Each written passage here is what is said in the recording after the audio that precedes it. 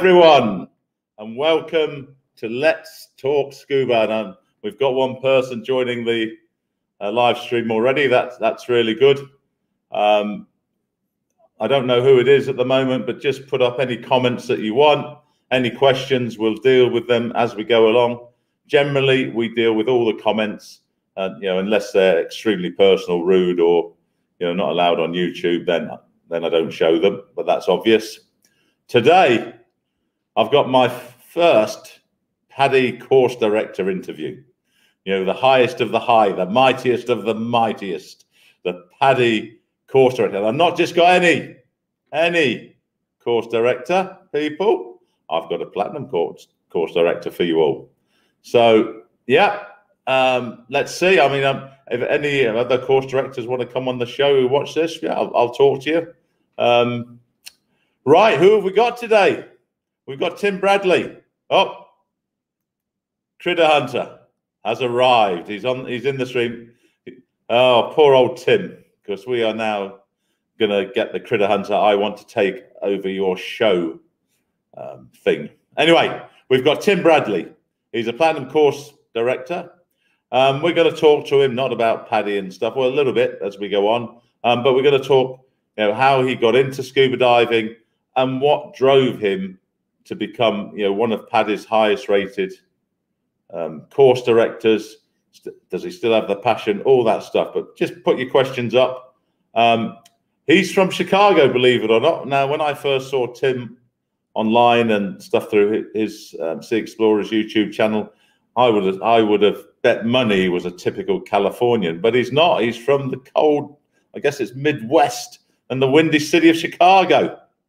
He is currently the head of instruction for the Sea Explorers chain of dive resorts in the Philippines, um, which has, I think, been in existence since about 1989.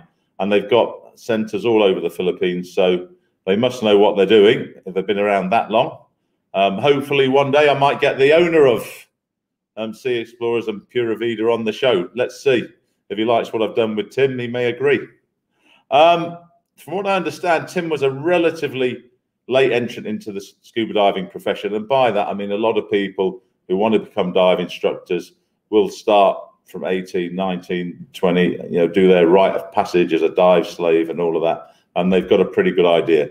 But um, Tim had a pretty interesting background before he actually made the decision to go into um, scuba diving. Of course, then he would have had to play catch up because becoming a um, course director is by invitation and it's a competitive process. We'll talk about that.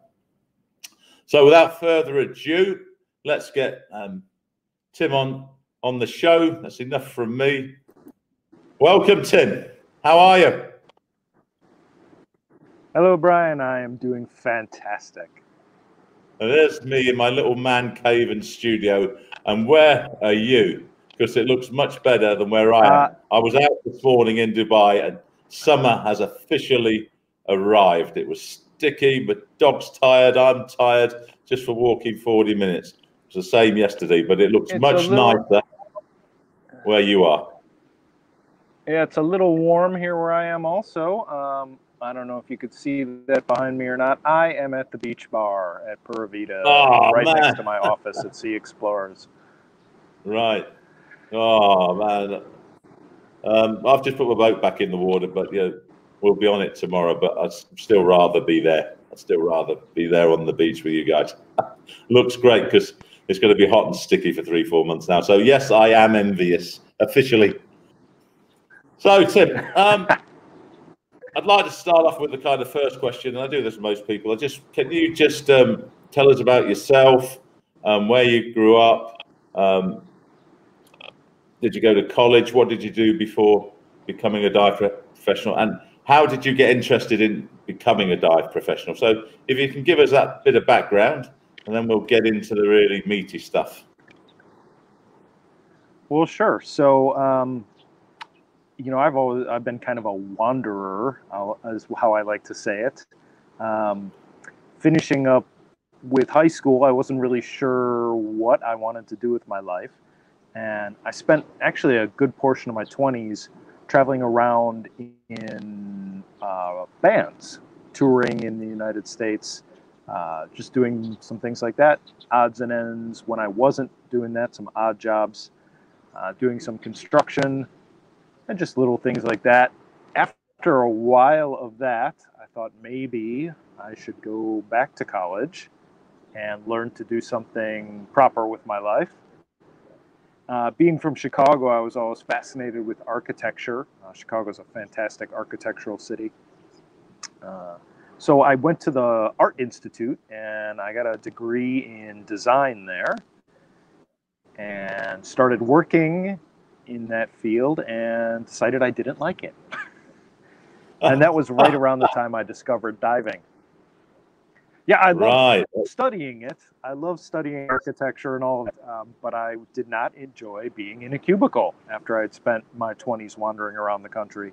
Um, now, tell us about the band. What sort of band was it?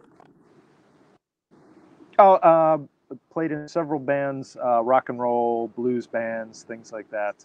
Um, yeah, just traveling around the Midwest and uh, other parts of the country's both coasts, and um, you know, just enjoying life a little bit. Um, yeah.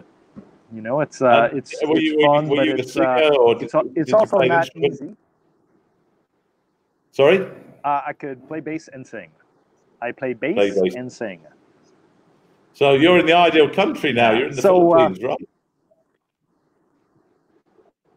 Yeah, uh, that's karaoke. That's a different kind of singing. but do you still play the guitar and sing? Not very often. Um, I kind of I put that aside when I was getting involved in diving and never really picked it back up seriously. Um, All right. So I did plenty of it during my twenties. Uh, enough for enough you, for a lifetime. Yeah. How old were you when when you graduated from the Art Institute then? Oh, let's see that would have been I was I was already 30 years old. Right. So yeah. So that's yeah. So, so you were.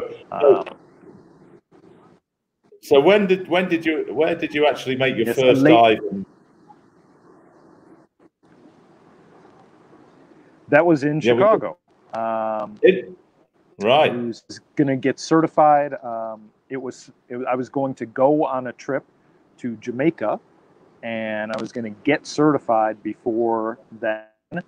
And we started diving there um, at a local dive center in Chicago and did a course there uh, with a guy named uh, Brian, actually. Uh, great name, right? Yeah, yeah, right. And uh, it was uh, it, it was a really really great open water course. Um, even the the diving in Chicago, I really enjoyed that, even though it's kind of a, a cold and muddy lake that we used for training. Um, I just can really, we hold it there? We've got, right away got, fell in love with that. Justin on the line. We've got Justin on the line. Hold on. Let's just see what he's up to.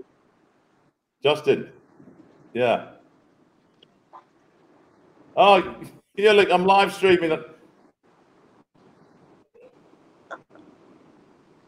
Someone's left. Yeah, go and get it. All right. I thought that was um, Judea. I couldn't see the phone. I thought, oh, Judea, because I must be doing something wrong on the live stream. I better answer. And it wasn't. It was my friend Yulik who's left his phone on the. Sorry about that, people. But it is live now. You know it's live. It's not. It's not practice. Anyway, talking to Critter Hunter, I thought my mic wasn't working or something. He was just ringing up to say, um, you know, Brian, you're doing this wrong. So let's have, he's been on, ask Tim how the cuttlefish eggs are. Is this kind of a private joke? Is it some disease or something? Uh, yes, uh, we have some we have some cuttlefish eggs nearby, and I have been checking them so often, hoping to get some video of them hatching. Justin has been saying they're going to think I am mother when they're born. cool. That'd be nice to see that, um, because you've only got a small. Isn't it on a full moon or something they they hatch? Um, you know, there's surprisingly little research about that uh, done in the wild. Uh, there's some stuff that you can find about out in uh, some studies that they've done, like the Monterey Aquarium and some places like that. Um, we're guessing it's between 18 and 24 days of gestation for the eggs, uh, according to what the basic research is. But again, that's aquarium research, not not in the wild research. So I discovered them about about 10 days ago. Um, and they're, they're just starting to look like little cuttlefish inside of them. Uh, they're almost transparent. So once they get their colors, they're actually flamboyant cuttlefish. We'll know they're almost ready to hatch. And then I'll be down there all day, every day, trying to That's actually it. get some What you need to do is have a shift of you, Finn, the dive masters, one in, one out, one in for you know for 24 hours. That would be a cool sort of live event, wouldn't it? Just people going in with one diver Yeah, in, one yeah. diver out. That there you go, Critter Hunter. He's still on. He's he's um, yeah, and I mean, we'll see. an idea for you. Like once again, you know, I come up with all the ideas for him. Anyway, he's here. He reckons you've got a mini karaoke machine in your car in case of emergency. I tell you, he's just going to bomb us with these sorts of Ah, comments. So Yeah, no. just get ready. And know his job. When I just said he was calling, he was. I was like, no, I'm not calling. No, it wasn't. It was my mate Ulick, and he was calling from his my wife's phone. She's called Julia and Julia. And, you know, Ah. I'm not great with the, the eyesight anymore. So, anyway, um, let's get back. If we got five Ah, yeah. people on on now, um, thank you for joining the live stream. Please put comments or questions up. Um, virtually anything goes as long as it doesn't embarrass somebody or it's rude or whatever, or it's not about scuba diving. It's called Let's Let's Talk Scuba, right? So Tim isn't going to tell us where the best bars in Dauin are on this show. Well, he might. I've not been there yet, so I might need to know that. Right. So so you made your first dive in Chicago. You learned to dive in Chicago. Where was it? Was it in a lake or was it in was it uh, Chicago borders? Is it Yeah, lake, it was. It, it lake, was a lake. Which lake? I've been there. It was actually One of the Great Lakes. no, right? not the not the Great Lakes. I actually did my first dive in a first dive in a Lake. It's called Pearl Lake. It's actually um northwestern Illinois, uh, near Wisconsin. Uh, it is. They do have an area that's dedicated for diving with some uh, some wrecks, some purpose sumper wrecks and things like that down there. Um, one of their claim to fame is they have the actual stage prop uh, Gilligan's boat from the TV show Gilligan's Island is sunk in that lake. Yeah, yeah. So, Right. uh, was it, was, how cold was it? little piece of television memorabilia down there. How cold was it? Uh, when I, for my first dive, I think, oh, I'm going to talk in Fahrenheit, though. It would have been about 50 degrees Fahrenheit. Yeah. So down in the low teens centigrade, right? So, was that wetsuit, dry suit? Yeah. Were you in a Uh, wetsuit or dry suit? learning it was a wetsuit. Uh, I wetsuit when I was learning how. Uh, I very quickly transitioned to dry suit. yeah, man. Yeah, it's just like in England. Um, yeah. So he's done cold, cold water diving, Critter Hunter. You know, he'll take you there one day. Right. So you learned in Chicago because you were going off to Jamaica. You wanted to dive. I assume that all, all went well. When did you make the decision? This is for me. I want to become a dive professional. And how long after that sort of first dive did it take for you to become an open water instructor, an OWSI? So um, two years. I learned in 04 and became an instructor in 2000. Uh, so it was pretty quick. Um, and I was just diving as much as possible, diving locally, going on dive trips uh, to the Caribbean, to Fiji, uh, wh- wherever I could land myself that ha- was supposed to have great diving. I was working on checking it off a giant worldwide list.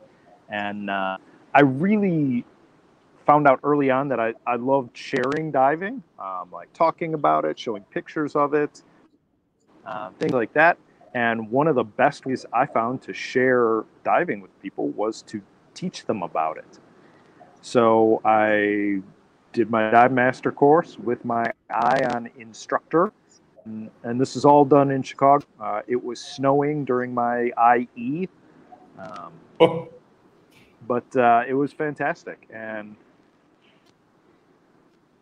All right. Um, Trident has told us told me there's a delay, so I'm holding back a bit and letting you finish and waiting a couple of microseconds before I I answer um, and go on to the next question.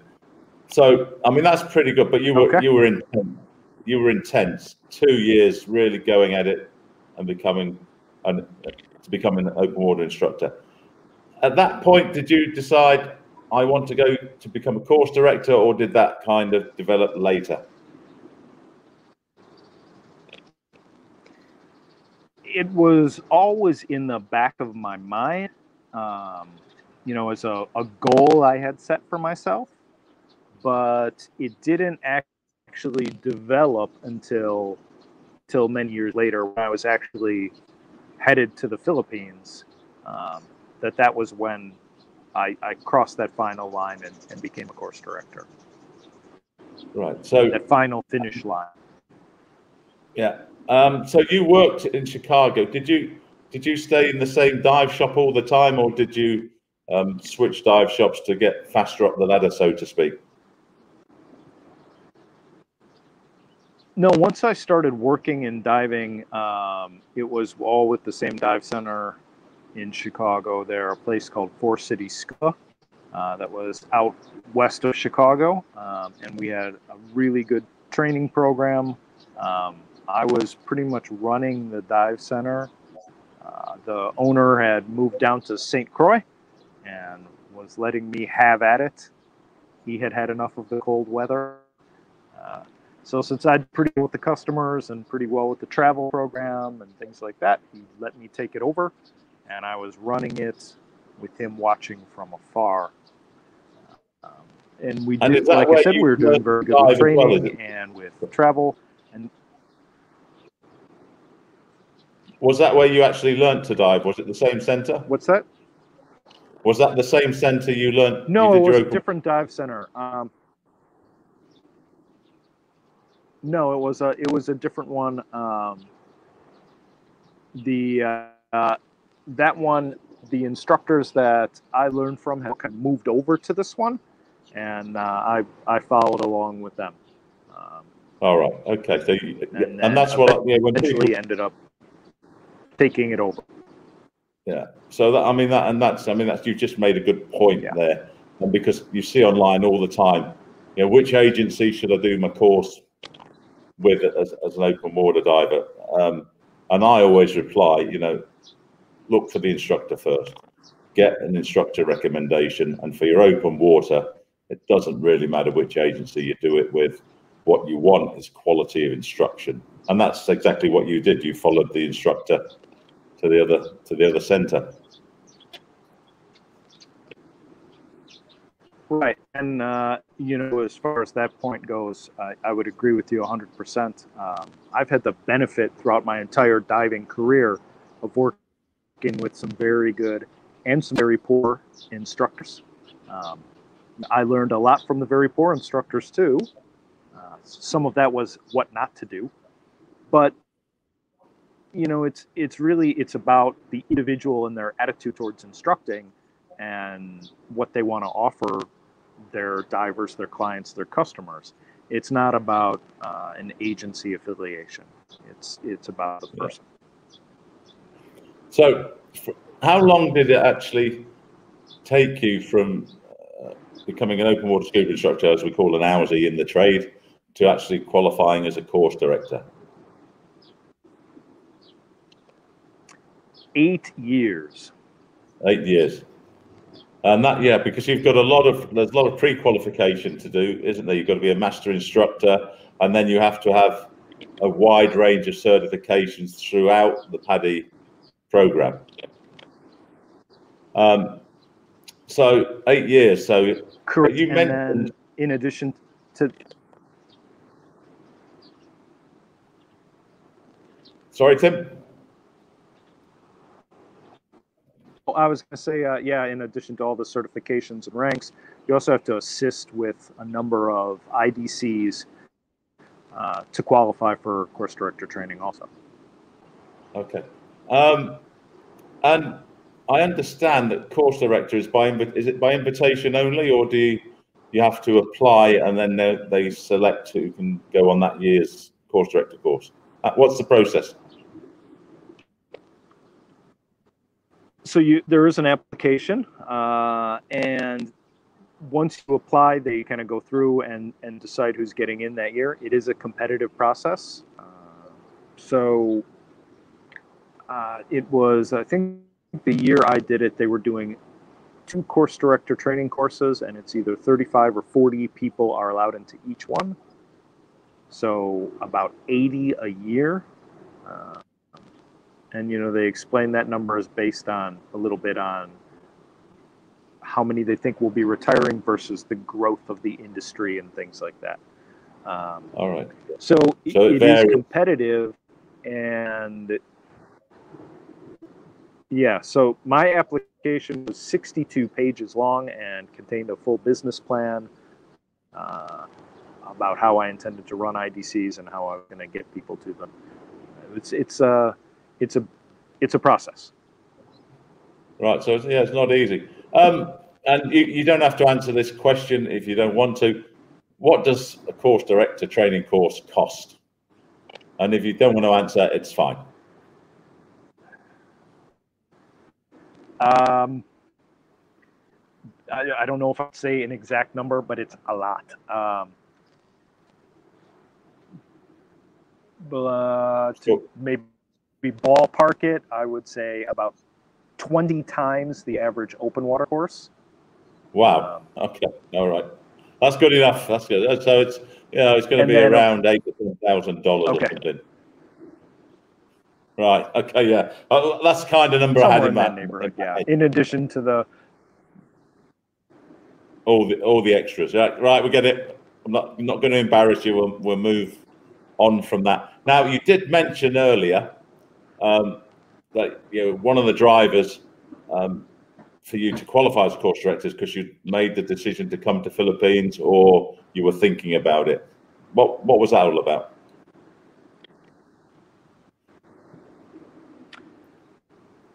So uh, you know, I at some point I just kind of got tired a little bit of life in general in the states and was doing a lot of work in diving and thinking, they are I someplace where there's beautiful warm waters, nice beaches, amazing tropical diving. Um, you know, kind of thinking, let's. I, I've paid my dues here. Let's go someplace where I can do the other part of diving uh, and in, enjoy the setting a little bit more. Yeah. Okay. Um, yeah, we'll go back to about, about the Midwest. But why did you choose Philippines? I mean, there's lots of good places. Indonesia, right? That's an, another diving hotspot. There's Australia. There's lots of good. Why the Philippines? You know, as I was traveling around those last couple of years, uh, I started looking at every place that I would go to, thinking, well, what about this place? Is this where I could settle down? And there was always one or two things that just didn't feel right. Um, you know, for some of them, it was as simple as, uh, wow, the pizza here is crappy in this country. um, you know, some things like that. And then the, well, I mean, you know, being from Chicago, you got to have pizza. Um,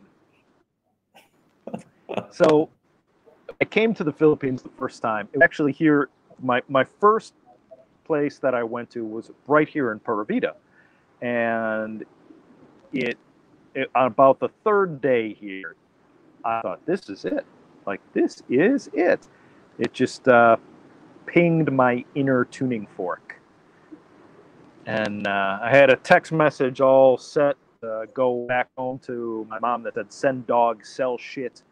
Um, but I thought, no, no, I should actually actually return and uh, and take care of packing up by myself. So uh, after that, though, I kind of started checking out other parts of the Philippines and seeing if if it was all amazing, if it wouldn't matter where I ended up. Um, and you know, I, I count myself very fortunate that it always came back to Dauin as my favorite place, and that just happens to be where I landed. All right, so yeah, it wasn't an impulsive move. Then you've been traveling with diving, taking people on holidays and stuff, and then you found the spot. Yeah, um, and I mean it was a combination of, you know, the the most amazing people. Uh, for me, I'll say my favorite diving. Uh, saying the best diving is kind of subjective and is going to start uh, people arguing. So I'll just say well, my favorite personal. diving that yeah. I've ever run across. Yeah, yeah. It, it, it's like here in Dubai you, you see online, oh, there's no diving in Dubai or it's it's rubbish and all of that. But just look at some of my YouTube videos, right? We have some really nice diving in Dubai. Yes, we can have bad viz, we can have some strong currents, but mm-hmm. when it's good, it's fantastic, you know. But it, you can't do it every day. Um, oh, Critter Hunter, he does make yeah. me laugh. So he's now thinks that a course director course is sixty thousand dollars. Critter Hunter, it isn't. It's much less than that, but we're not going over that again. But you would buy a Jollibee yes, franchise with that. that. Yeah, well, he would buy a Jollibee franchise. You know. Justin, you've obviously studied it. We're a bit worried. Is the channel not doing very well? David Streets, come on. He's the owner of Dive System International. and he's an inventor, and he invented the Proteus All right. um, rebreather, um, which he originally developed oh, as a bailout rebreather for side mount, a side mount rebreather for bailout. So you could go on a rebreather and then um, have a bailout re rebreather as well instead of carrying all, all those cylinders. So good morning, David. Thanks for joining. Right, let's just get back on track. Ah, one question. You bought the pizza up. Pineapple on pizza, yes or no? Okay. No. No. There you got Not it. Not allowed. From, a Chicagoan or whatever you call people from Chicago. No, um, it's a bit hot top, topic at the moment. I don't people get into it. I'll even get into it now. Right. Um, can you give the viewers um, a bit of an idea of what it's like you know, running a, a, dive center in, in the Midwest in Chicago and how the divers actually go diving? You know, how, how do they? I mean, you you said for you for two years you were diving every, every opportunity you got. So you were in Chicago. Um, just give people an insight on, you know, if they learn to dive in Chicago and they want um, to do a lot of diving, what would they do? And what was it like running a dive operation there, particularly with those winters that you get? Well, um, you know, the, the dive operation there is a little bit, it's a little bit different than when you're in a vacation destination. You know, one of the things we did was because so many people they wouldn't want to go in a cold, dark, muddy lake. Um, we offered them to do just the classroom and pool portion of the course with us, and then give them a referral that they could take to the nice warm Caribbean. Um, you know, we always tried to build a good community feeling at the dive center and do events that were sometimes almost based as much on socializing as on diving. Um, you know, where we would go out to the training lake and and we would do uh, you know barbecues there and plan something for afterwards. Uh, we ran events at the pool that we would rent. Uh, like during Olympics time, we would do underwater Olympics at the pool, things like that. You know, based on uh, being social and developing a, a, like a dive community there. Because you know, people so that are into diving, they, they love to dive. Yeah.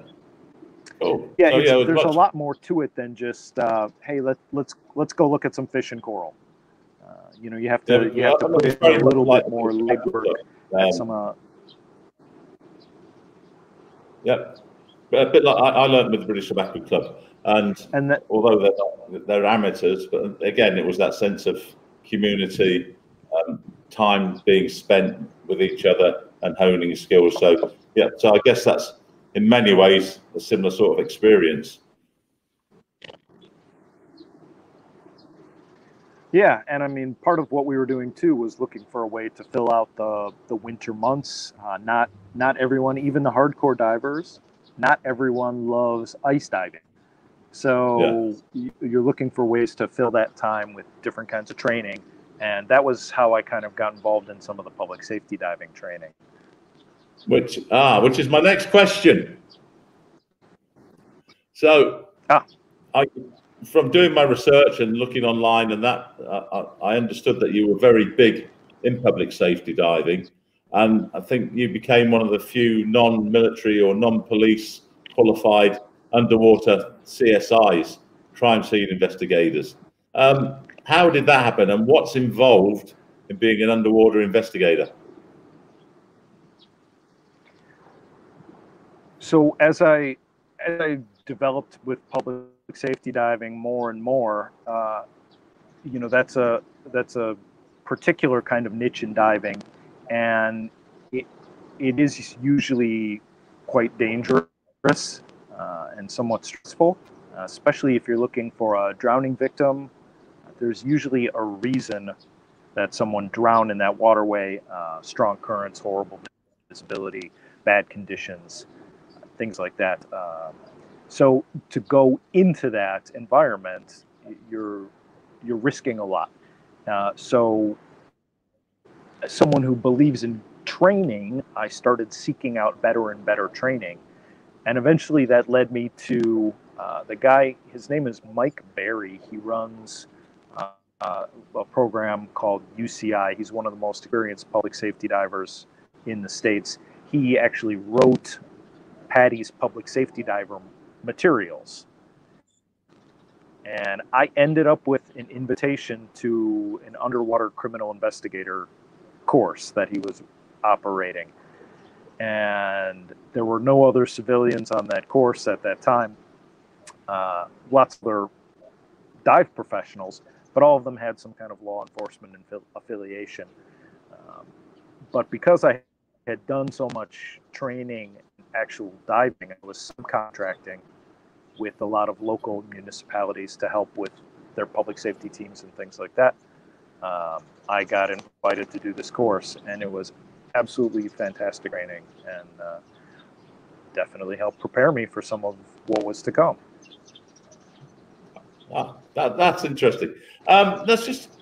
Was the decision to quit Chicago and move overseas was that a really big decision or you just thought about it over time and were just waiting for the right place or you know was it did you have to really think long and hard about it and say it, is this for me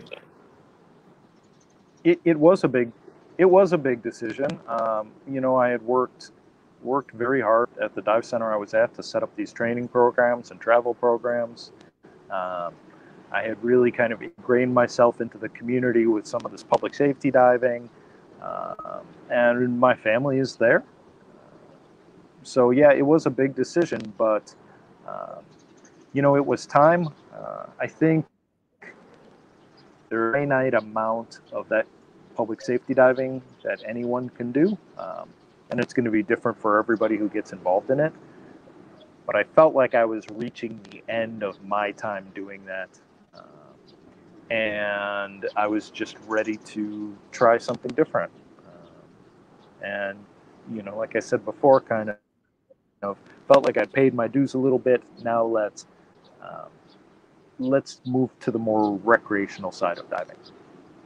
All right. Okay. So no regrets. No, none at all. Um, I I have never been as happy as I am over here uh, with what I'm doing. Uh, it, every morning, I'm so excited to get up for work. Uh, it's just fantastic. All right, let's go through a few comments. Um, Granada, yeah, fit. Okay. Team has the Philippines Wi-Fi. Yeah, well, a lot of countries it's not great. Um, we've had the Jollibee, we've had David. Credanta's back. Um, will you name your what we what will you name your Cuttle children? Will they follow you on all dives? uh,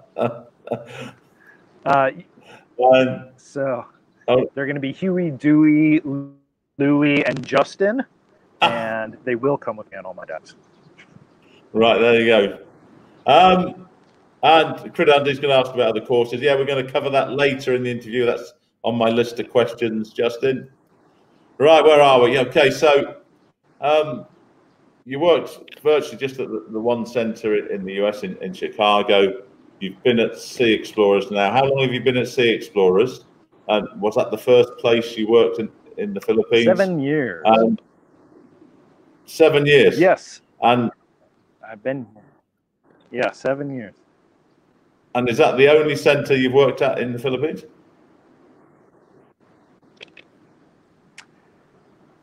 Yes, the only uh, operator I, I've gone and worked at all the different Sea Explorers, but I've only worked in the Philippines with Sea Explorers. Okay. Um, can you give us an overview um, of Sea Explorers? It'd be nice to know where they're based besides Dauin. Uh so an overview of the Sea Explorers operation and your actually role in the organization and the connection between Pura Vida and Sea Explorers. All right, so uh, Sea Explorers was started, like you said before, in 1989. And when they first started, they worked with a few different kinds of operations, uh, doing dive safaris and also inside of a few existing resorts. And then eventually, uh, the, the founder of Sea Explorers decided why not have his own resorts, and that's the Pura Vida uh, resorts. So it's uh, we are not the same company, but the same family with Pura Vida. Uh, they're both they're both run by the same guy whose name is Chris. Um, we have right now we have locations here in Dauin in the Philippines, which is near Dumaguete. We have one in Malapascua, one in Cabilao, and one on Alona Beach, which is in Panglao on the island of Bohol. We also will have one opening in Sipalay, which is on the other side of Negros, the island I'm on now. If not for the pandemic, it would probably already be open, but that's kind of slowed down some of those uh, expansion ideas. Pretty soon we're going to have five. And then we also have a head office that's in Cebu City that takes care of uh, logistics and things like that for the whole company. All right. So quite what a substantial I is besides being yeah, yeah. And then uh, what I do besides being the course director here at the Dauin location is I'm the head instruction for the company, which means a few times a year I go to all the different locations and I audit courses that are going on while I'm there. So I sit in on an existing course with an instructor and their students. Um, the, the students meet me and they know what I'm doing there. And I'm just basically sitting in to see how it's going, um, see if there are any tips I can give those instructors, any questions I can answer, just make sure the students, our guests, are getting the best possible experience with their courses. And then I do the same thing with the dives too, fun dives. Uh, I do that with the dive masters, make sure they're giving uh, top notch briefings, and just that the guests are really getting what uh, the, the very best of what the dive industry has to offer. So, so in many ways, you're like a mentor for all the dive professionals within the company. Yeah, yeah, and that's that's how I like to look at it. You know, I think when I when I first started doing this position, I think people were afraid I was some kind of like secret police force or something that was uh, looking to punish them or write them write them nasty notes for how they were teaching, and and that's not it. It's never been uh, supposed to be a punitive type of arrangement. It's supposed to be a mentoring uh, teaching process uh, for our our guys, so that when they're done with their with their courses. Our clients go forth into the world and tell everyone they had an amazing experience here. And we all benefit from that, from the clients all the way down to the employees here. Right, great. Um, I, that was another question. I, I, I'd missed it. I meant to ask it earlier on because you're a platinum course director, right? So, can you let people um, know Yes. what a platinum course director is? And for me, um, and it's a bit of a loaded question, you know, what's in it for the, di- the di- instructor candidate um, by using a going with a platinum um, course director um, rather than just a, I I guess, the silver and bronze? You know, are there any real benefits to the instructor candidates by having a platinum course director do their IDC? Well, the, the platinum level is is for the most experienced course directors, uh, the people that are doing the highest volume of training. Um, not to say that what we have here is an instructor factory. Uh, on the contrary, I, I keep my course size very small. Uh, the, the largest IDC I will do is eight people at a time. Um, I, I am not an instructor factory. Um, but just over time, I've, I've achieved a high level of dive professional training. And so, what that means to the candidates that would come and see a platinum course director is not only are you getting a more experienced course director, but to achieve that requires a, a very high level of personal dedication to the training and to your candidates and just to making sure that uh, not just that you're teaching the most amount of people, but that you're offering the best courses. Because if you weren't offering the best courses, people would hear about that, and you wouldn't be teaching very many people their IDCs. Yeah, but So, on the other to hand, answer your question about what's the benefit to the candidates, it's just uh, you know you're you're going to see someone who's dedicated themselves to to professional training. Yeah, but I mean, surely all course directors, whatever level, must have dedicated themselves to professional training, right? That's what I don't get. Um, yes and no. Um, you know, I know sometimes that um, people do that with their eye on a job at PADI headquarters. Um, the course director level is required for certain jobs at PADI headquarters. And I also know, I mean, there were a few guys that were in, in my training course that don't actually do very many IDCs. Um, the they became course director and maybe they intended to do lots of IDCs, but uh, maybe because they're running a dive center, the day-to-day operations take up a lot more um, a lot more of their time, or they spend more time on other training, or um, you know they just do another aspect of diving. To to get to that platinum level, you're doing IDC training, and that's your main focus. IDC or, or dive professional training, dive masters also. Yeah, but um, I did my IDC staff with a guy called Gary Marsden, and um, I was just looking at the Undersea Journal and at the list of um, the course directors there. I was checking out that you really were a platinum course director, and you are. Um, and then my, my friend Gary Marsden, who's been uh, he's been doing IDCs, I think now for at least thirty years. He's just um, I think finished one in Malta but he's just down there at bronze, and that's what his main job is. But I think he keeps his um, IDCs very, very small, but he's active all the time. And for me, um, having because he used to when I owned dive centers in Dubai, he was one of our course directors who would come out and do IDCs, and he was exceptional. But you know, Mm-hmm. the message I'm getting because he's not putting volume through and he's focusing on quality, it could be perceived because he's not platinum that he's not very good. When I know differently.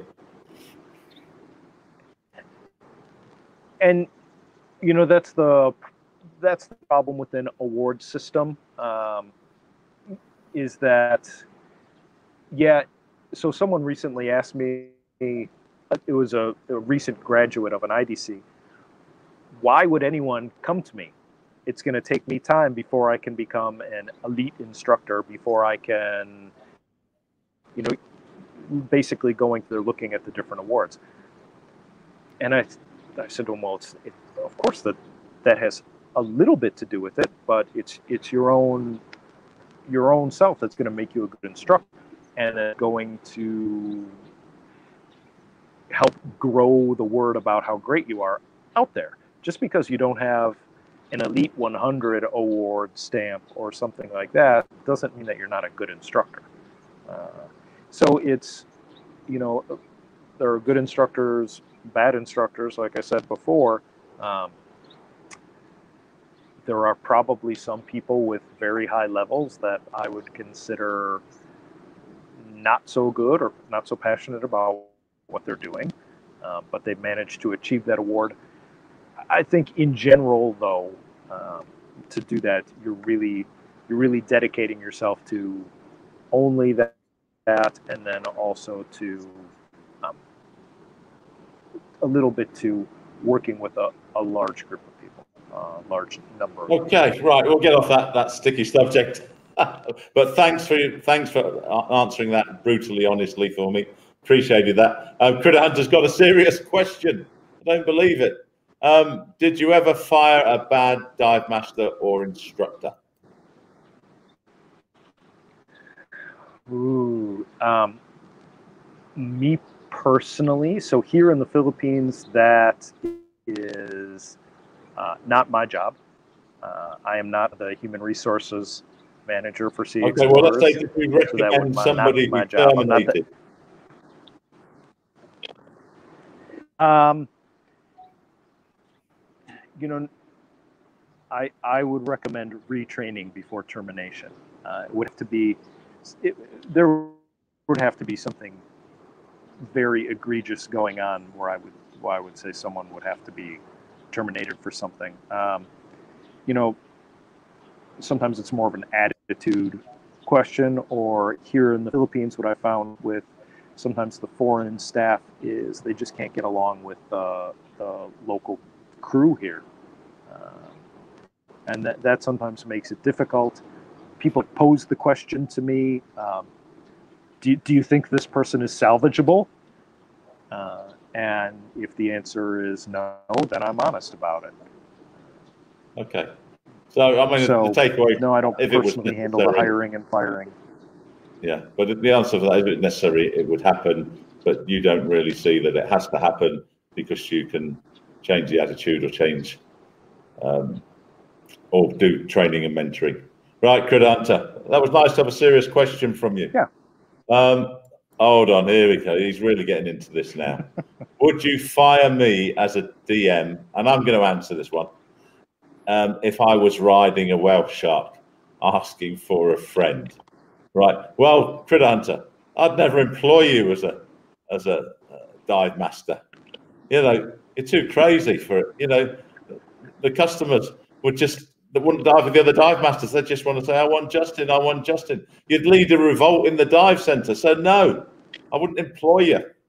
You know, and if I did see you riding a whale shark, I'd shoot you. He's got some questions, that boy. right, let's get uh, another couple of. Let's get into the, the dive training industry now, because there, uh, there are a lot of people who, really like like to know what the landscape's like out there. And you know, and a, once upon a time, you know, I was a BSAC advanced instructor. I was very lucky. Um, PADI did a, a very cost-effective changeover course with the free IE in Stony Cove in the quarry. I think it cost me two hundred pounds, everything, um, because you know um, PADI wanted to break into the UK, and uh, BSAC instructors can't teach as they have to teach through a, a, club or a BSAC school, so you couldn't go and teach your friends. Um, and at that stage, I mean, I'm talking, I think 1985 or 86. No, no, no, later than 89. Um, PADI was the go-to agency. If you wanted to be a dive professional, if you didn't have a PADI ticket, you weren't getting employed right? It was as simple as that. Dominant um, and people only. I mean, a lot of the other agencies which we know now, like SDI and a couple of others, weren't even around. But now the market's changing. Um, there's I see agencies now like SSI, SDI, and others hungry for market share. Um, and I see instructors uh, now becoming multi-agency certified, right? And, uh, uh, and for the same level, of course, say for example, open water, depending on which agency um, you select, you get a different price um, because of the price of materials and stuff. Um, how do you see the market developing, particularly for open water, advanced open water? Is it becoming fragmented, or do you see it consolidating over time? And, and by that, I guess I mean do you think some of these agencies would go away? Will PADI buy some of them? Or are we now in the new normal of at the lower levels um, a fragmented market? Um, I'd like your thoughts. I know my thoughts on that. I mentioned earlier, I, I would follow the instructor. That's the recommendation that I give to people. But from a, a businessman, essentially, mm-hmm. what you are, once you're a course director, how do you see the market now at that entry level and advanced open water level? So I'm, I'm assuming you're talking about the open water instructors and some advanced instructors. No, I'm talking things. about the entry level yep. open water divers and advanced open water divers. Right, I'm going to come on to that next question, but I'm talking, ah, you, know, okay. you, you go to a you go to a, a, dive shop or or to a dive instructor, and I've recently had this um, with someone that I'm sponsoring, where there was a, a menu and said, well, you go for this agency, it's cheaper, and, and it's at the entry level. Um, so is it becoming fragmented? I, I, I remember when I had my dive centres, you know, if you were a PADI five star, you couldn't teach anything else. Um, is that model kind of going to um, break apart because you know everyone's chasing value for the dollar, and if your materials are half price from this agency for the same standard of training and same standard of materials, you know, customer's king. He wants value for money, with the overriding caveat that the instruction is good, right? Um, what are your thoughts on that? Well, and and that's you know it's the tricky part about what's happening in the in the dive market right now is you, you are seeing a, a splintering at lower levels um, and you know i'm not sure uh, you know all the all the fighting amongst those agencies is such a great thing for the dive industry. Um, it used to seem like, honestly, everybody was focused on uh, taking a bite out of PADI, And now it seems like I, I, see a little bit more of some of the other agencies fighting about each other. Um, know, and as long as it's driving competition, that's always a good thing. Um, you know, if if there was no other competitors, if, if PADI ran the whole industry, that wouldn't be good for anyone. Um, we need competition to keep us wanting to improve. But I think it just needs to be the right kind of competition, and as long as it's still the interest of basically teaching the best course possible, that's good competition, and, and that that's good. It's it's when it becomes can we produce cheaper materials? Can we have a faster course? Can we do a program that meets you know a, a shorter time frame? That that's when you know if the interest isn't just doing the best course that you you an agency put on if the interest is trying to do something at a cheaper level. That's that's when things aren't so good. And my worry is that if if people are having a poor course, uh, that that reflects bad on the, the whole industry. Um, I know so many people who tried a resort course. I'll make the little air quotations there, and had a horrible experience doing it. That they said, "Oh, I would never try diving again." But this is someone who wanted to try it and had a bad experience with it. So, you know,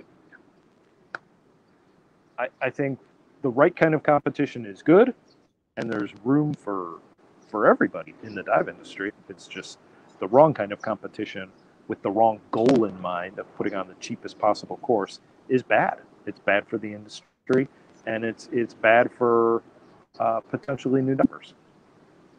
Yeah, and I just want to make one point clear to because everyone loves to PADI bash on social media, right? I was a PADI instructor. I did a lot of certifications. I was BSAC. I'm currently a BSAC and SSI instructor. And the reason, there's a reason I became an SSI instructor. Wasn't really anything to do with PADI per se. All it was administratively wise, but that's another subject. Um, you know, PADI produces, as do all the all the mainstream. You know, if, if a dive instructor follows the PADI standards and procedures um, correctly, he will teach and produce good divers. Um, but you know, there's a lot of instructors out there, not just PADI, with other agencies, who will take those standards. For example, um, I, I, don't know PADI nowadays because I'm not active. Um, we could teach eight to one, um, but it depended on the conditions. So if it was low visibility and um, some current going, you wouldn't teach eight to one. You'd bring it down, maybe even one to one or two to one. But there's some people who read the standards who then say, right, that's I'm allowed to do that. They haven't read what PADI and the other agencies put, you know, subject to conditions. It's like doing the, the open water dives, right? No one ever did the snorkel one. I um, would not certify some divers after four dives because I wasn't happy. Yes, they passed everything just, but they weren't comfortable in the water. So I said, you've got to, and of course, I said, oh, you just want to take money off us. Did I say I was going to charge you for it?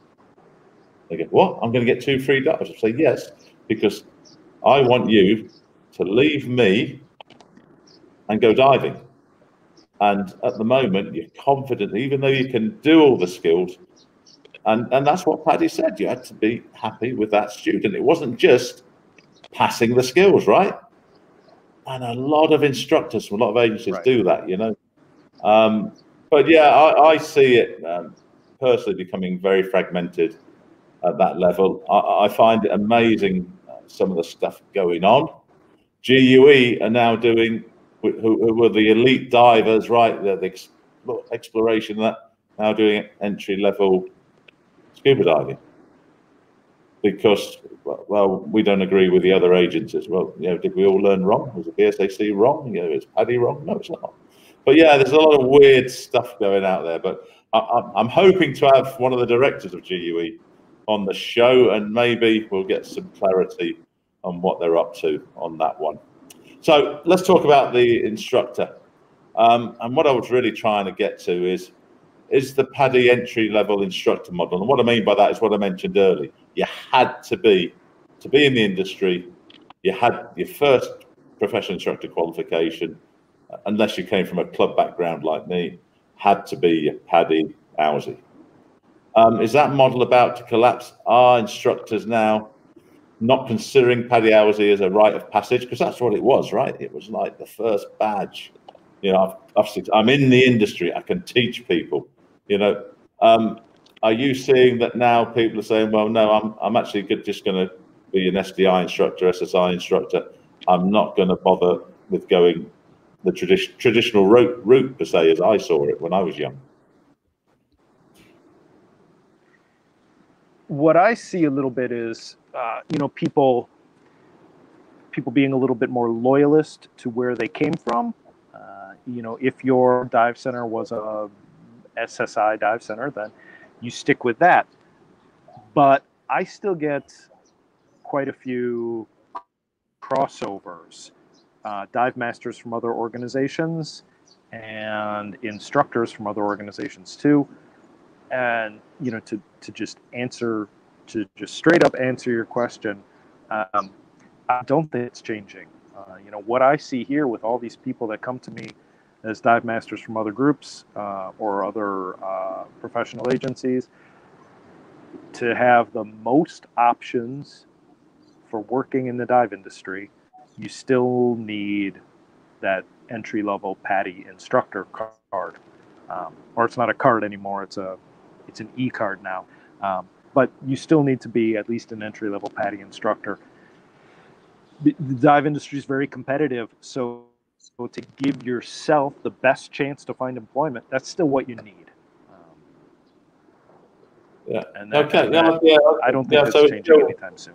Still, now it has got uh, because I was lucky, fortunate in, in 1980 I think it was. I did a, a crossover course. It was um, quite. It was a, I think five days, including the IE in, in Stony Cove. But I understand now PADI is not really interested in crossing over um, instructors. They want the instructors to go through a full IDC, or there is a kind of IOC option. But um, when I wanted to requalify as a PADI, I wasn't given the option, even though being a, a, still a BSAC advanced instructor, you know, um, I wasn't given the option of doing an IOC. No, you have to do. I had to do a full IDC, and I said, no, I'm not going to do it. You know, why? I'm a staff instructor. Why can't you say go and staff three IDCs? Why do I, at the age of 60, have to go and go like that? Um, and then SSI, um, I was talking to the SSI guy. He said, "Your business instructor." Let me check. Yeah, you, you teach to the same um, ISO standards we do. You know, you've just got to do a one day crossover. We want to make sure you're good in the water. There's a couple of things we need to do, and because you're still you haven't got to do uh, written exams again, which I find pretty insulting. You know, having to go back and do, you know, essentially dive master. And um, what's your thoughts on that? Because that is going to alienate a lot of potential instructors and and income for course directors because course directors, you know, make money from doing IDC staff courses, right, and that sort of thing. And we're all supposed to be teaching to the same RSTC yeah. standard. So, you know, I, I can't say exactly about Uricants, but you know, there are there are things in the PADI standards where if uh, an instructor comes to me from another agency, um, they do have, get a certain amount of credit. Uh, the requirements that they would have to fulfill basically end up being a little less than half of an IDC. Um, you know, the IDC, the as a total is is broken into two parts, and then so they would only have to be there for that second part. Um, I so here with my program, what we've got is we have a, a discounted price for that, but I still encourage them to attend a full IDC just to because the IDC um, coming in halfway through, you're going to miss all the team building and some of the early stuff that might explain a few things. Um, you know, it's at that point, I, I'm not charging you anything more for it. It's you're just surrendering a little bit of your time to me that's just going to give you a better experience as, as a whole. Um,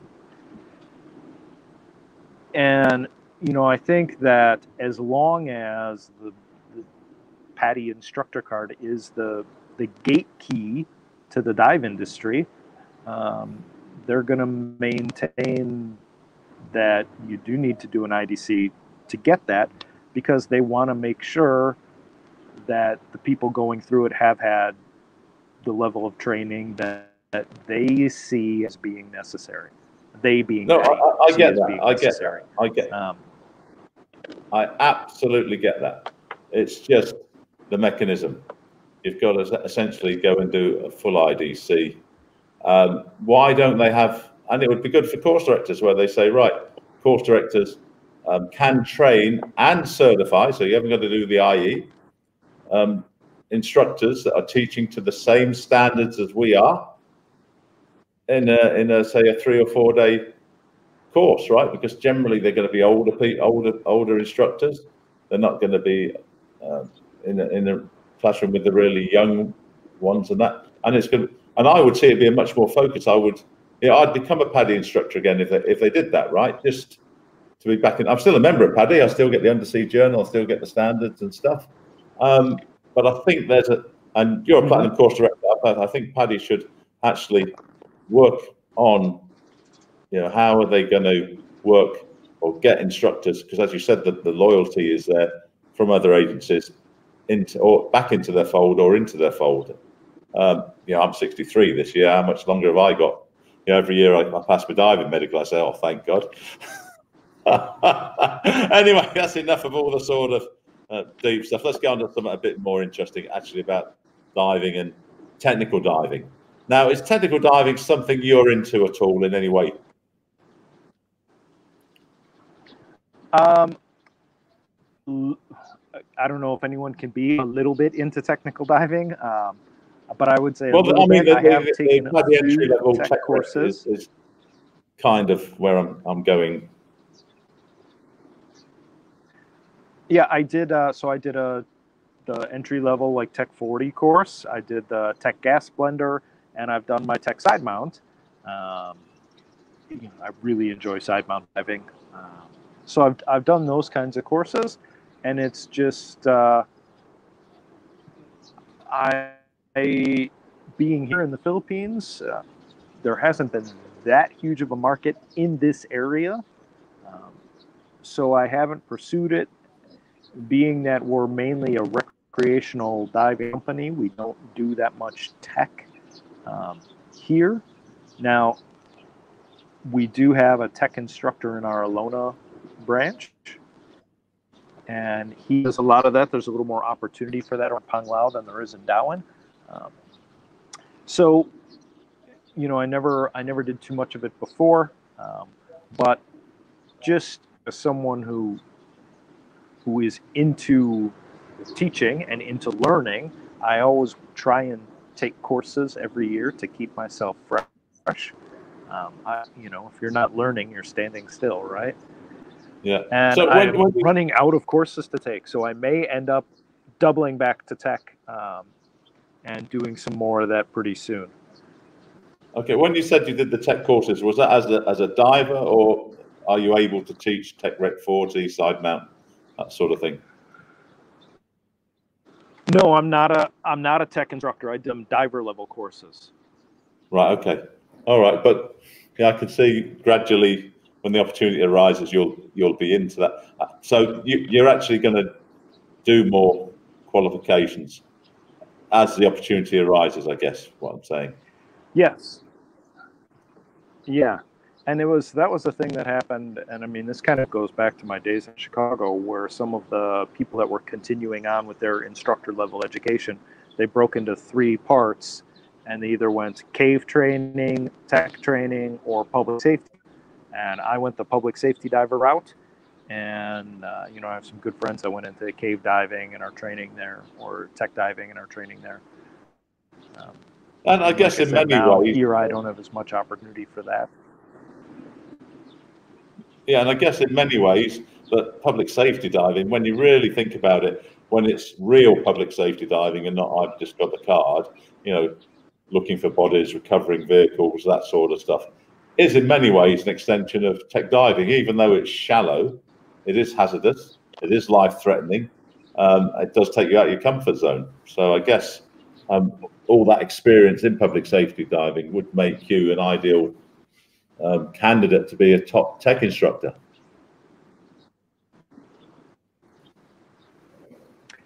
Yeah, and I mean, that may eventually be where I'm headed next. Um, you know, like I said, I, I love to keep, keep learning, and uh, uh, you know that that is probably the next logical extension here is to start moving through the tech courses, and you know, eventually uh, start training it. If I am enjoying it as much as I would think I will, um, you know, the, to want to start training that too. Okay, right. Just before we go on to a bit more on, on tech, let's just see what's come up. Oh, it's Critter Hunt. The Critter Hunt. I'm going to rename this the Critter Hunter Show. I think. Let's talk Critter Hunter. Um, right, he's gone back to the whale shark. What if me and the whale shark were good friends? Hmm. Hunter. Um, that's my impression of his channel. Um, Critter Hunter, you haven't got any good friends, so sorry about that, mate. Um, Brian, how did you find someone with almost same same hair color as you? Uh, well, I've actually let the hair go grey. I've got. I'm going to reveal Hey, my wait a minute, dirty that's just little- the sun. I'm going to reveal my dirty little secret. You know, normally I dye my hair, have it dyed blonde and that, but I've kind of let it all go Hey. out, and this is my natural um, old man. But now he's brought that up. Um, when I come back from the Maldives, I'm going to go and get it blonded again. Um, what else has he got? We need a critter finding Uh, specialty to create the best searches. Yeah, that critter spotter. Yeah, that would be. Ah, this is not on my script, but it's something I'm very passionate about. Um, a lot of um, I, I, see it happening a little bit, but you know, is there any sort of um, big push really? Um, and I think these um, should be not-for-profit type courses. I think people like PADI and the other agencies um, should be offering uh, at cost. I mean, not not free um, awareness courses on how to dive with certain predators. and what's got me into this and made me passionate about this is people who watch my channel will know about me and the seahorses and the Seahorse Trust. I've had the Seahorse Whisperer on the show, um, Roger Hanson from California. And everyone loves to dive with a seahorse, right? Everyone loves to dive with a seahorse. But you can actually kill a seahorse inadvertently and not know you've done it. Um, and that's the same. And how that happens is they uh, and the, the researchers. There's a bit of debate on the research, but uh, what I'm going to say now is pretty is pretty well backed up by the Seahorse Trust. If if you put big bright lights on them, or if you um, stress them, that's when they go dark. The head goes down. Um, they have latent diseases, and that stress can trigger those diseases. So although the seahorse doesn't die there and then, it can get sick and die. Um, but there's nothing about that in any of the agencies. And when I was talking to the um, executive director of the Seahorse Trust, he said, PADI, all these, they're not interested.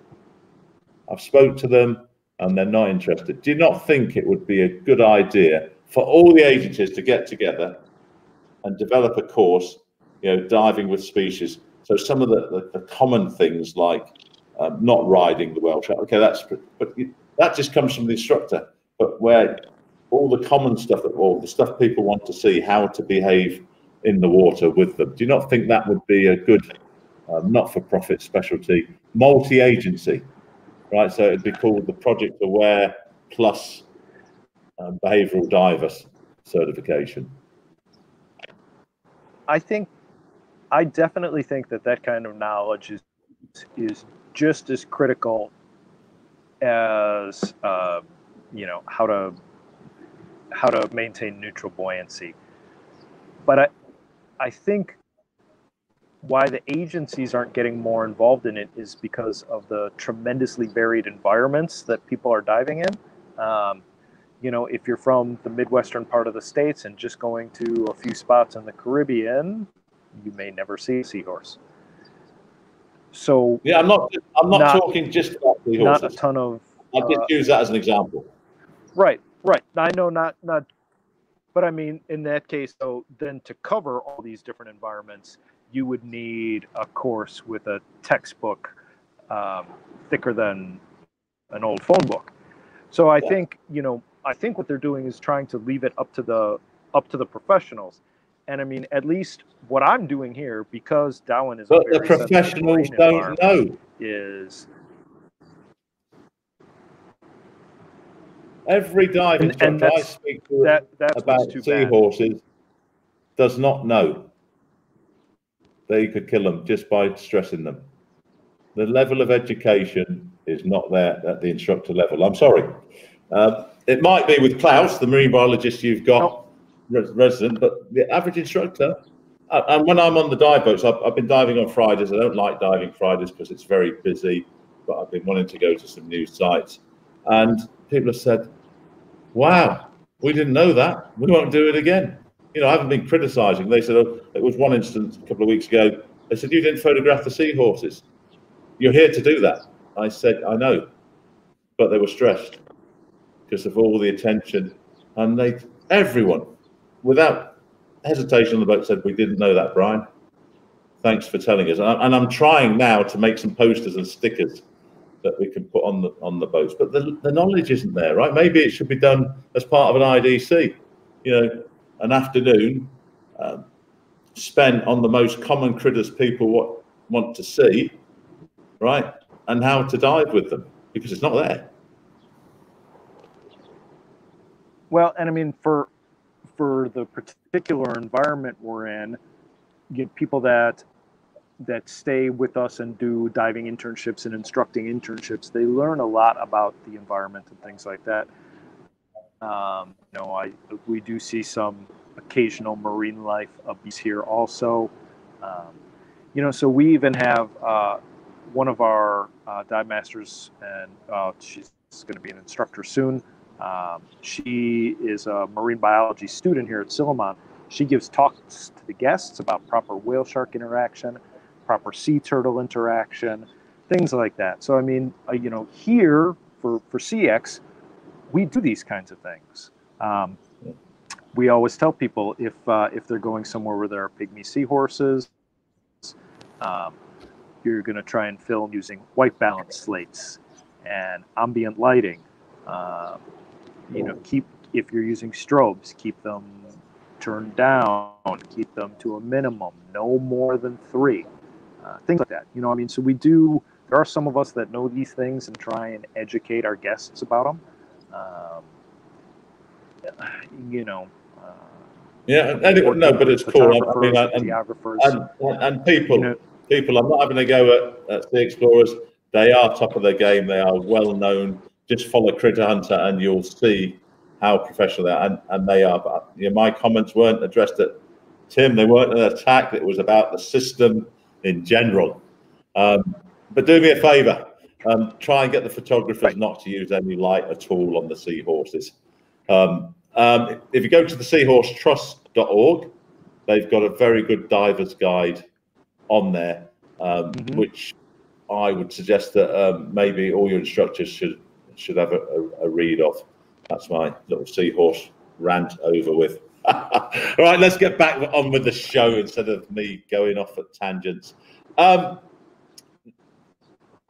now, I personally see the future in, in diving. Um, maybe I'm right, maybe I'm wrong. Being in rebreathers eventually, whether that's in my diving lifetime or not, I don't know. Um, but I, whether it's simple semi-closed units that uh, replace the current traditional, you know, tank, octopus, and regulator, or fully automated units. Um, if David Street's still on, he might have some views on that. Um, I actually see at some time, probably in your lifetime, maybe not in my lifetime, that we'll just be diving rebreathers. Um, what, what are your thoughts on rebreathers and what's the PADI current view on rebreathers? I did see something about the KISS rebreather in, in the latest undersea journal, but I didn't read it, read and study it. Um, so what do you think?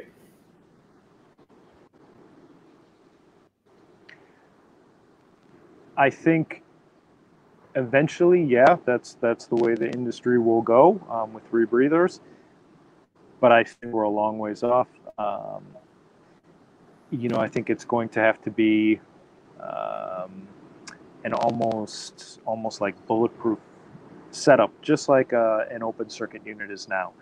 Um, whereas you remove 99% of the margin for error just with a very simple five minute check uh, before that becomes the standard of the industry. They're not there yet. I know they're working towards it. but once once that happens, uh, once you know some of the margin for error is removed, uh, I, I, definitely think it makes a lot more sense than than open circuit so yeah, I, I agree that that's probably where the industry is headed. I just think there's still still some things that need to happen. First, the simplicity of the open circuit standard scuba units that we use needs to be replicated as far as how you can set it up and check it. Um, yeah, I'd agree with, with, that. I'd agree with that. With hours and hours of training. Yeah, uh, yeah, and things like you know, um, instead of filling your own scrubber canister, that you actually just got one that you put in, and there's an automatic um, indicator which says, you know, change it now. You know, um, but good. I'm glad we're on the same. What's PADI's sort of view or future view on rebreathers? I mean, you're a course director. You'll know more than I learned from reading undersea journal and stuff. Um, what's you know, what's PADI sort of? Where are they? Where what's their stance at the moment on rebreathers? in support of them. Um, you know, they understand that it's a, a big investment. So if someone has, has invested in a rebreather and taken the time to train on it, so if they're properly qualified on that rebreather, they can use it for any course um, that doesn't, as long as they can meet the course standards. So Oh, as right. long as the being on the rebreather doesn't the the standards of the course, they can use it during during a course. Um, and then they've they've really adapted with some of the the tech rebreather training that uh, they're you're using all these different kinds of rebreathers or different brands. Each one is its own training module um, where you're getting trained on that unit and that's the one you're using rather than just a standardized rebreather course that might may or may not apply to the unit you have Yeah, So I, I, think gone that way. But again, I think you know the fact that you need different different courses for different brands of rebreathers is is going to make it take a little bit longer before they can find their way to the mainstream. Yeah, I, agree with that completely. Um, have you done any rebreather diving at all, or still waiting? I did I did want a like a tech tryout day, um, and I I would have liked it, but I must admit I I did miss how quickly I could set up and check my open circuit unit. Um, Yeah, uh, that uh, you know that that uh, doing that quickly and, uh, and and getting right to the dive is very nice. Um, but you know, for sure, the benefits uh, of getting closer to the marine life and you know, some of the extra safety benefits about how how long your air supply can last and things like that. It's it, they're really great for that. yeah. Well, you never know. Um, uh, David Street has been a buddy of mine for what nearly forty years. You know, um, who's developed the Proteus rebreather. You never know. We may get him to come over to the Philippines and do a little session at Sea Explorers. You know, he's he's keen to get the unit out there. So I'll see if we can twist his arm. Um, he can teach us both. David, I hope you're still watching. Probably not. He- He's, he's a workaholic. He comes in and out of the stream while he's at work. Um, so we've got rebreathers done. Well, yeah, that's yeah. We're the last question, Tim. Yeah, we've been going at this nearly an hour and a half. So, I mean, it's obvious to anyone who sees you. Whoa, all right. Anyone who sees you with Finn Snow, I'm a big name dropper, as you can see, and your own channel, uh, Sea Explorers, on um, that you are really happy at, at, at- at Sea Explorers, and you've been there seven years. You, you're well settled. Have you got any future plans? And if you have, what are they?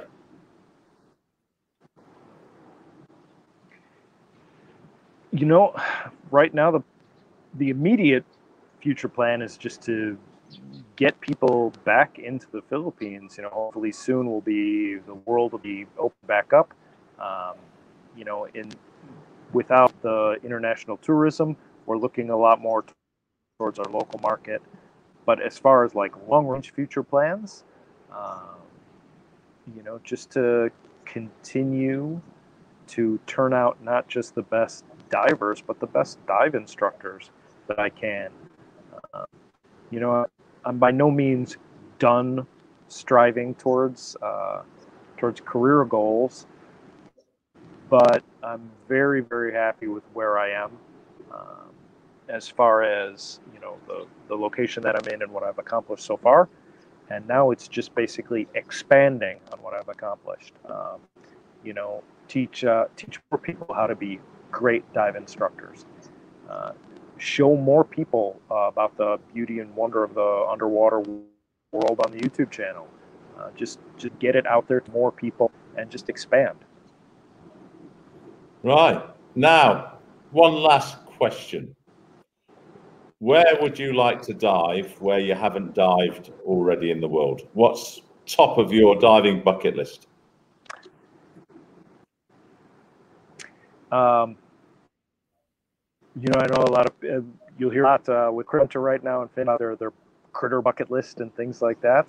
Um, uh, there, I haven't seen everything, but there is one main one that escapes me, and I like to dive where I could see uh, a great white, a great white shark. I absolutely right, so love sharks. It's one of my favorite animals, and I've been very fortunate to be water with almost all different types of them. But I have never seen a great white, and I would desperately like to. Right, cool, great, great answer, great answer on that one. Great white sharks. That's what he wants to do, boys and girls.